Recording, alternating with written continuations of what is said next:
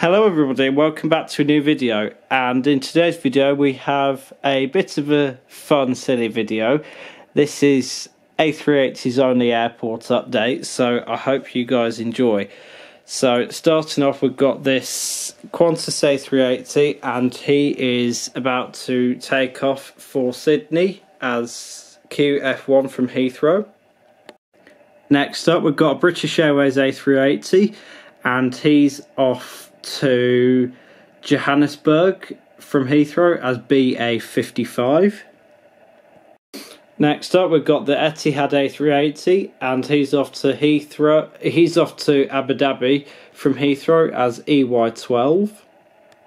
Next up, we've got a Malaysian A380, and he's off to Kuala Lumpur from Heathrow as MH1.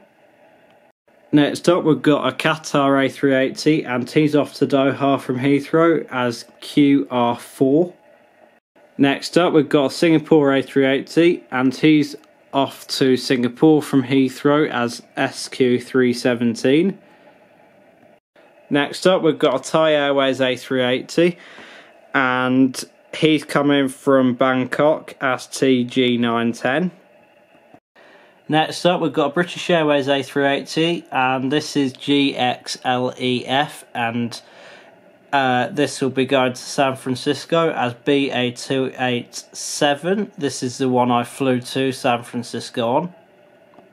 Next up, we've got another British Airways A380, and this one is GXLEL, and he's just arrived in from San Francisco as BA286, and this is the one I flew back from San Francisco on.